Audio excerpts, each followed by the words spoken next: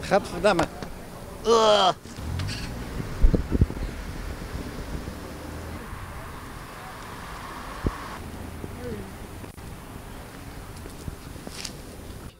Vanavond vindt een informele radenbijeenkomst plaats, uh, waarin de gemeenteraden worden geïnformeerd over het uh, IROCO-rapport, het tweede onderzoek. Uh, dat is gedaan op verzoek van het dagelijks bestuur van Soweco.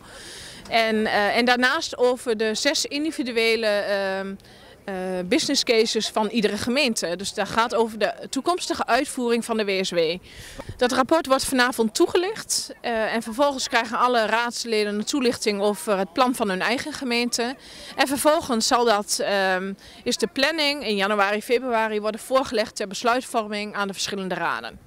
Welke uitkomsten zijn er zo mogelijk, schat u in? Ik heb geen enkel idee, want tot op heden zijn wij als ondernemingsraad niet betrokken geweest uh, bij dit onderzoek en ook niet bij dit proces. Uh, er wordt niet met ons gesproken en dat is ook wat onze collega's hier vanavond laten zien. Er wordt over ons gesproken, maar niet met ons en daarom voeren zij actie. Stille protest is en we willen gewoon blijven op Zwekel. We zijn wel gedetacheerd, maar toch.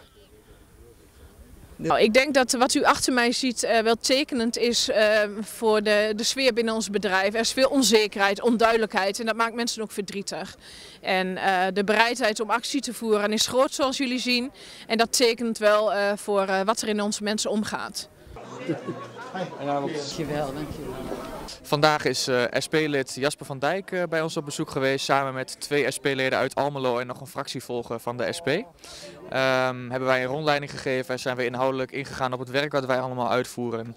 En hebben we ook nog uh, nou, met elkaar discussie gevoerd over hoe nu verder met, met en het hele verhaal. Dus dat is de conclusie die we vandaag hebben getrokken. Nou, ik vond het heel leerzaam om vandaag bij ons in het bedrijf in ieder geval mee te kunnen kijken en ook iets meer gevoel te krijgen bij Soweco. Dus dat is in ieder geval de winst die we eruit hebben gehaald. Um, en wat heel mooi was om te zien was dat hij al heel erg bezig was met een bepaald politiek standpunt in te nemen. En um, uh, hij was heel erg aan het doorvragen op de inhoud. Dus dat was, uh, was heel prettig. Wat uh, denkt u gaat hij verder doen met de kennis en de inzichten die hij vandaag heeft opgedaan? Um, Goeie vraag. Ik denk dat hij uh, de informatie die hij vandaag heeft opgedaan, dat hij dat verzamelt en dat hij vanuit dat standpunt uh, meer gaat inbrengen in de Tweede Kamer. In ieder geval over het behouden van SW-bedrijven in het algemeen, maar zeker ook voor Soweco in Almelo. Lieve collega's, hartelijk dank voor deze demonstratie.